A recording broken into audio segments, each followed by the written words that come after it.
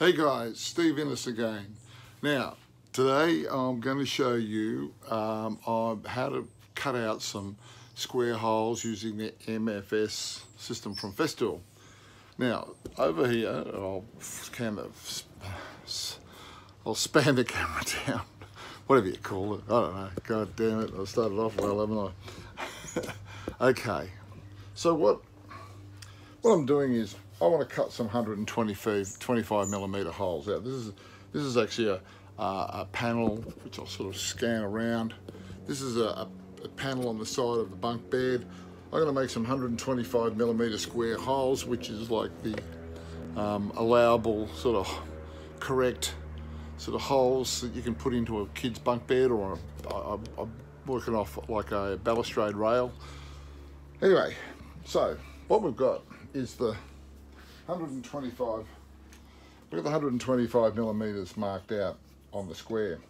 Now, in order to cut the hole out, I use the MFS uh, rail system. Here I've got the 700 and I've got the 400, but I've got the 200 and I've got the meter and I've got the two meter. So this is comfortable for what I want to use. Now, I'll just get my router. Now, the one I the, the one I kind of use for this work is the OF 1400. It's a beauty. Um, I find it's sort of very comfortable. Um, now, you put in the 30 millimeter ring, which is sort of uh, standard with these routers. Then you put in whatever desired cutter that you want. You take a measurement from, oops, okay. You take a measurement from the from the cutter to the outside the cutter to the outside of this ring here, which is, uh, in this case, this is nine, it's nine millimeters from the cutter to the outside of the ring. So that's an important measurement. Now, oh, I'll put that down. So, what I need to do is make this square on the MFS nine millimeters all around wider. So it's 18 millimeters that way and 18 millimeters that way.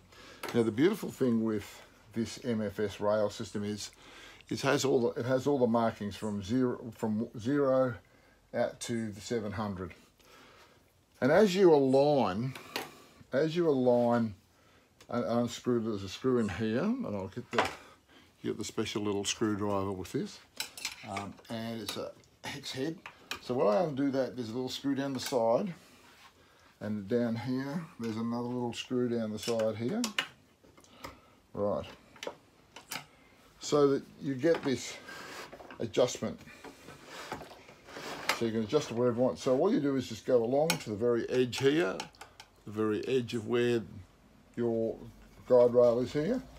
So I need to bring it down to 143 millimeters. There you go, 143 millimeters on the knocker. Tighten it up, snug it up. Come down to this side here. It's already sitting on 143 millimeters just by its accuracy of being square. So you just snug that up. So now I've got a perfect little square area because I've got 143 mil this way, 143 mil that way. That's because I want to make a square, uh, a hole. Now, in order to set this up, I set the set square here, and I clamp the set square down. Make that nice and square. Then I push this push this, this side of the rail up against the square. That keeps it nice and snug. Then I grab another clamp. I clamp this over here just for the moment, just temporarily. So that's sitting nice and square. Oops, no, don't need to use clamp. Now, I use these one millimeter and eight millimeter spacers from Woodpecker because I want the nine millimeters.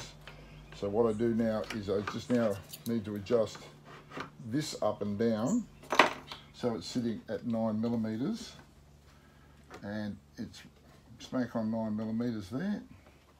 So down here I've got the little brackets at the bottom of the, and this is what the brackets look like. They've got a little right angle and you can slide them in the, the track and you get, you get to slide them up and down and back and forth this way. So I've got them adjusted. I've pushed, I've pushed them in here so that they sit snug here. The camera's starting to move. um, right, I might just blow that up a little bit so you can see a bit better. So these, so as you can see, these move in. So I just push them in so they're hard up against the rail. I just I just clamp this down just temporarily. I make sure that I've got my nine mil there. No, because I can tap it up a little bit longer. And now I've got my nine mil. I push this in. That's hard up against the fence. I use a hexagonal screw underneath, tighten it up, and tighten it up. I make sure that that's same over this one, which I'll swing the camera around. So it's the same thing with this one. This moves in and out, so that pushes up against the fence. Or up against the, the board, I should say, not the fence. Right. So I undo that now. That's just temporary. This is only temporary. Now, because I want to make a series of holes which are parallel to this edge, of course this slides all up now, giving me the nine millimeters from that hole to that edge, all along the board. So I've got that area covered. Now all I have to do is make sure that I've got nine millimeters from this line, from this line here to the edge of there. So what I do, I just get my little spacers, which is nine millimeters. I push it up firm against here, and I just slide it along till it touches the nine millimeters there. I check it this side. Yep, all good. So that's it. That's now sitting in the center of that square. Now because I've, I've actually got this raised up on some um, yellow box dogs.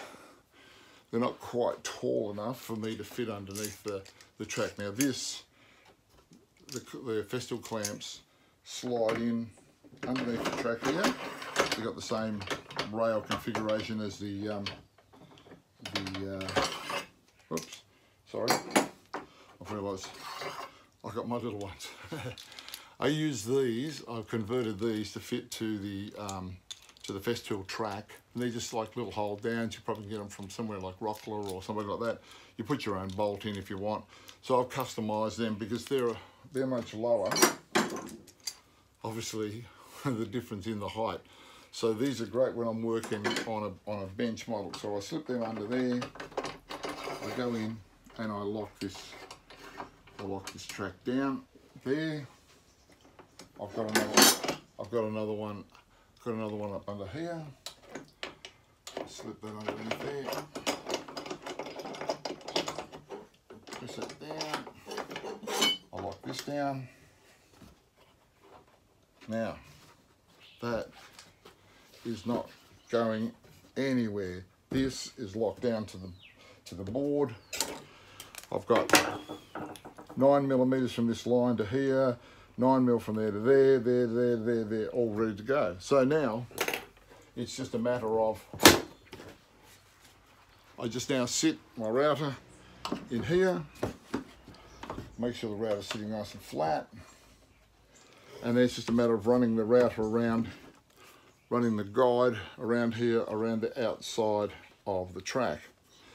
So it's just a matter of running it down, get your desired height, slide it along, slide it along, and using the track as your, your guide. Now there is a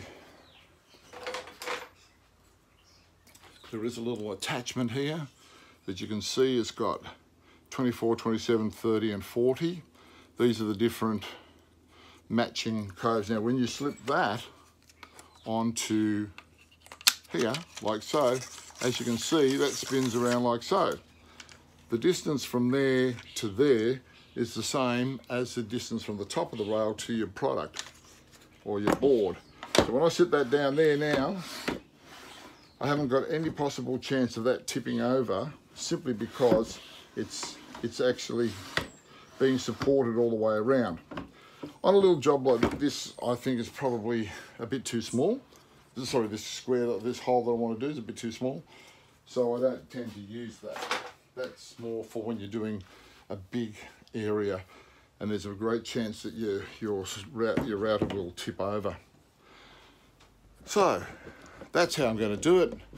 Now I'm to I'll show some examples of, but you know routing. I mean you obviously can you obviously know it's going to route it out because it's it's all been calculated. I think you've seen a router work. I think oh, I think you've seen a router work. So I don't think there's any point in showing you how to route. It's just it's simple. Just follow around the guide and it's going to drop out, and I'll have a square hole. But that's the um, the MFS system that I really like. It's fabulous. It's sort of infinitively adjustable to slots or squares. So um, I hope that might help for people to understand some of the uses of the MFS, which is fantastic. Okay, guys, there's a serious one from me today. See ya.